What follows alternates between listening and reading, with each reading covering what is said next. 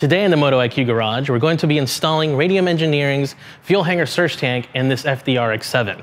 Now, for those of you that have had a chance to check out our Nissan 350Z installation of the Radium Engineering Fuel Cell Surge Tank Kit, you'll know that their products are very thorough and their kits have basically every single part you're gonna need. So today, we're gonna have Mike Kojima, our editor-in-chief, go through all the detailed parts of the kit, and then we're also gonna show you how the installation goes. So putting a cool fuel system in your FD has never been easier thanks to Radium. So Radium makes a kit so you can drop in a high performance fuel pump the right way into your FD. This kit uh, works for any of the FDRX7s, and that's uh, in the US, it's uh, from 93 to 95.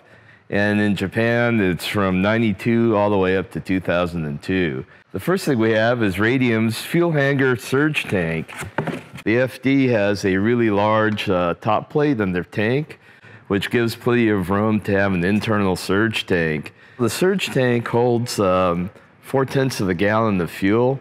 That's more than enough to keep even the most powerful engine running for a few minutes. You might be wondering, how does the fuel get in the surge tank? So in the FD, there's a uh, like a boxy baffle, and uh, what Radium does is they wall off one part of that boxy baffle, uh, and put this uh, assembly in, which holds the lift pump. Now, the lift pump is a low pressure pump that feeds the surge tank. It's basically the same pump that feeds the high pressure side, but since it's uh, not deadheaded, it can move a lot of volume of fuel. Now, the pump sits here in this bracket, which also uh, works as a baffle. There's a uh, one way check valve. Uh, this ball moves back and forth and prevents fuel from coming out of this baffled area, and it assures that fuel is always around the pickup of the uh, lift pump. During acceleration, the check valve opens, allowing fuel into the baffled area. During deceleration, it closes so it doesn't allow any fuel to escape. From the uh, baffled area in the, uh, in the stock uh, pickup box, the fuel goes into the bottom of the radium surge tank. Um, there, there's a fitting for it. It plumbs in there real easy. And uh, there's a diffuser inside that deaerates the fuel. The fuel comes from the lift pump and it goes through this 24 uh, hole diffuser in there. Might be a little hard to see, but the diffuser makes, makes sure that the fuel gets distributed evenly in the surge tank and also de deaerates it. If the surge tank is picking up any bubbles, the bubbles get separated out there. This is the uh, top plate. It replaces the top plate of the RX-7 fuel tank. It's made out of billet aluminum. It has the hangers for up to three pumps. There's this manifold that uh, you can attach all the pumps to. Uh, you can run one or as many as three for a real high horsepower application. So um, all of the pumps go into this clean manifold, no hoses, no nothing, no tangling, nothing to leak and it can go out through this AN fitting to your fuel rail. Uh, nice, clean, nothing to leak or mess up. On the bottom, there's this uh, fuel screen. Uh, it has a stainless filter on the bottom, and there's also locations for all three pumps to pick up there. That's a cool feature. It's not that cheap, cheesy nylon mesh that messes up after a while. All, all your wiring that's inside the tank it's uh, better than OEM grade with Teflon insulation. It's totally impervious to gasoline or any exotic fuel. If you want to run E85 or methanol or whatever, it's not going to mess these up. So you don't have to worry about any electrical issues. Uh, the same thing with the uh, terminals. It uses stainless uh, terminals to pass through the plate, totally serviceable. Uh, they're sealed um, against all exotic fuels, so alcohol, methanol, whatever. It won't cause any leaks. You can use uh, ring terminals for your power and grounds for your pump. It's a totally solid electrical connection, uh, really low resistance, and um, super clean. There's nylon acorn nuts that go on top of these as well to prevent uh, any kind of short circuiting by anything that's could fall across the top. It's a very clean, very simple setup. As I mentioned before, uh, your fuel to your rail is AN. So uh, you don't have to worry about any kind of leaks or uh, having to get AN adapters. Of course, you could get a, a AN to a regular hose adapter too if you wanted to just run your rubber hoses. Uh, your return line is also AN, and uh, it, the return fuel dumps right into the surge tank and it goes through this diffuser, just like the feed, and it deaerates the fuel. Everything's nice, clean, sanitary, drops right in the tank. Um, what I really like about this setup is um, a lot of people run an external uh, surge tank.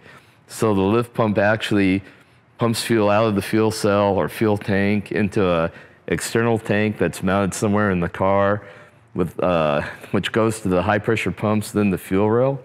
That works really good to prevent sloshing, but it's a big source of leaks and uh, possible, um, possible uh, fuel for fire in the case of an, of an accident. Now, I was just involved in helping out another driver that was in an accident, and uh, the car got really distorted in the crash. So the lines uh, to the surge tank separated, and all the fuel that was in the surge tank went all over the place. And it was really, really a lot of luck that there was no huge fire involved.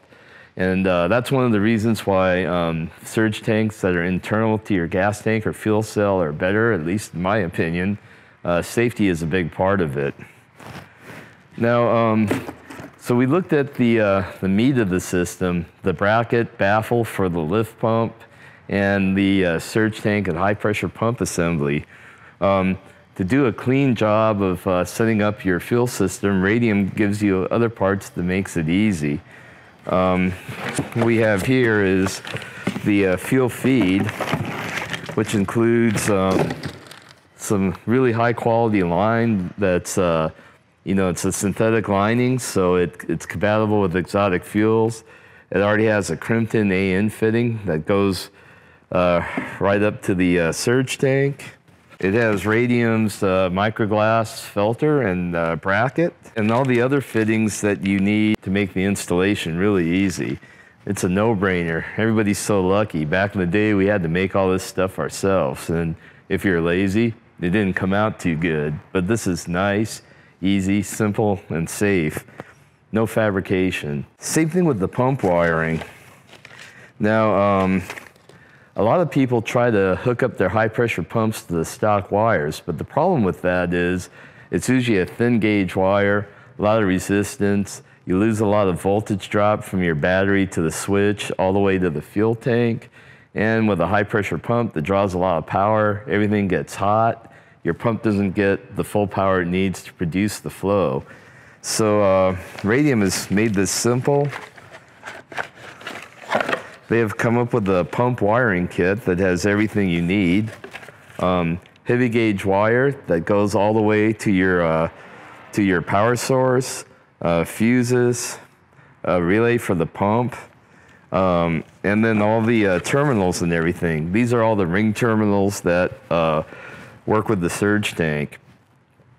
You know, everything you need's here. There's no excuse not to do it right. Um, you could actually probably run the lift pump with the stock OEM wiring since it doesn't have such a heavy load. But on this car, we have two of these kits. We're just going to do both, both pumps with the cool stuff. Finally, uh, it's uh, all about the fuel pumps. So uh, the Radium kit gives you several uh, popular Walbro pumps that you can choose from, uh, or uh, AEM fuel pumps. And then in the instructions, there's a list of compatible fuel pumps that drop right in. Uh, we're going to be using uh, this AEM pump. It's a nice compact unit. It's uh, E85 and alcohol compatible, so you don't have to worry about it burning up if you're running exotic fuel. And uh, it puts out 340 liters, liters per hour. it has a really, a lot of output in this really small package. It's pretty impressive. Um, that's more than enough to feed, feed our uh, relatively stock LS3. Um, if we're going to go to more power adders and things like that later, we can easily add uh, two more pumps and get all the capacity to make well over a thousand horsepower, uh, even on alcohol. So Radium has made this whole job a lot easier, and uh, everything's just a matter of bolting it in now. No fabrication. Now that we know the details of what is included in the Radium Engineering Fuel Hanger Surge Tank Kit for the FDRX7, now we're going to start getting into more of the installation of it and show you guys what we do here at Moto IQ Garage. Now, for some of you that don't know, here at the Moto IQ Garage, we're now providing high performance services as well as race prep. So for those of you that may be interested in the Moto IQ Garage, either building your engine or setting up your vehicle, or even doing a full installation of high performance brake kits or suspension parts, by all means, go to motoiq.com click on the garage services link on the top left, and then just send us an email with your request. We're in Carson, California. I'm open Monday through Friday, and we can take care of all your high performance needs. So now, let's get into this installation. Our first step is to remove the car's interior to access the fuel pump cover. Next, remove the OEM fuel feed and return lines from the tank top plate. You might also want to move the fuel tank vent lines from the top plate to get them out of the way. Now remove the Phillips screws holding the top plate to the fuel tank. With the screws removed, the top plate can be lifted from the tank with the OEM fuel pump and fuel sending unit stuck underneath it. Unplug and remove the OEM fuel sender unit from the fuel pump hanger. This is the only OEM part that we'll be reusing, so set it aside where it won't get messed up. Remove the top plate gasket. You can reuse it, although since the FD is an old car, we recommend replacing it while you're in there. Now we need to prep Radium Engineering Surge Tank for installation. Remove the surge tank from the radium top plate. Now we need to configure the pump block for a single pump installation. Remove the fuel pump block from the radium top plate. Next remove the Allen bolts holding the fuel pump block together. Now we install two block-off plugs to close off the unused fuel pump ports. When installing the block-off plugs, use a small amount of sealer to the plugs before you tighten them down. Once this is done, we can reassemble the block and reinstall it on top of the plate. Now we slide the supplied hose over the AEM fuel pump pressure port. Once it's on there, we clamp it in place and slide it on the pump block, securing that end with a hose clamp at the same time. The fuel pump electrical connector is clicked in place to the radium pigtail and the ring connectors on the pigtail are attached to the terminals on the top plate. We're going to attach the pigtail harness for the lift pump to the top plate at this time as well. Now we're going to assemble the fuel pump hanger assembly and the pickup. The pump suction side is attached to the pickup base which is held to the pump block by three brackets. When this is assembled, the pickup screen is attached to the pickup base and the pump block is attached to the top plate. Now the surge tank is reattached to the top plate with the fuel pump in place. Next, the AEM lift pump is prepared by attaching the pickup screen to the pump inlet. The lift pump is positioned in the fuel tank baffle being held with hose clamps. Move the fuel pump up and down to get the lift pump pickup screen even with the bottom of the baffle, then tighten down the clamps. Install the fuel transfer hose to the lift pump. If the fit is very tight, a heat gun can be used to soften the hose so you can slip it over the fuel pump barb. Install a hose clamp and secure the hose. Next, cut the OEM connector off the fuel sending unit and replace it with the radium connector. Attach the fuel sending unit to the side of the radium surge tank and connect all the electrical plugs.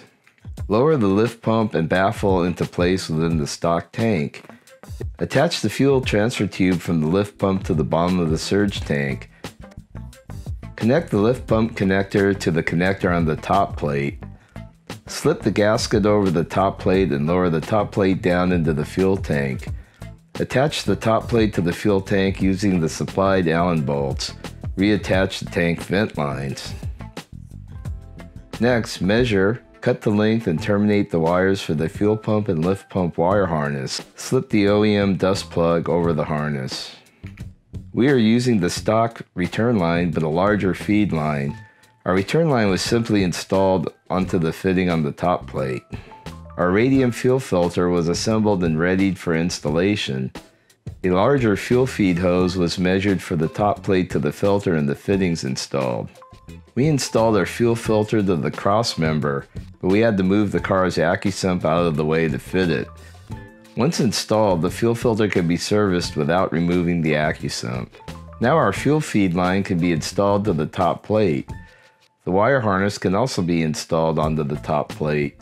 Once the ring terminals are bolted down, put nylon terminal covers over all the ends to prevent any chance of something falling on the terminals and causing a short circuit. Thread the wire harness through the pump cover and put the dust plug in place, reinstalling the pump cover. The car's interior can now be reinstalled. Now our larger fuel line can be routed from the fuel filter up to the engine compartment and fuel rail. We ran our line along the OEM route. We removed the factory protective covers and zip tied the new line to the factory hard line. Then we reinstalled the covers over the new fuel line. Now we have a state-of-the-art fuel system in our FDRX7. So there you have it. The installation of the Radium Engineering Fuel Hanger Surge Tank Kit for the FDRX7 is now complete. As you noticed, everything is very thorough, everything's taken care of. All the parts that you needed are included, including relay kits, for example, for the fuel pumps that you're gonna be wiring in. If you notice, the fuel pumps that we use for this setup are AEM Electronics E85 compatible pumps. You can find a link to that part in the description, as well as all the other parts from Radium Engineering that we used on this setup. We are all very impressed with the, with the contents of the kit. Again, it is very detailed and thorough. Everything that you need for the installation is included. And really, to be honest with you, if you're really looking for high performance without really needing to completely redo the interior of your vehicle, for example, this fits right inside of where the stock parts would fit. So there's no need to modify the height or anything in your trunk. This car is gonna look basically bone stock when we're done with it. Carpet's gonna fit, and you can drive it on the track and never have to worry about fuel starvation. If you like these videos, please subscribe. We love to bring you more content, and also be sure to check out motoiq.com for more high-tech articles and to get a little bit smarter.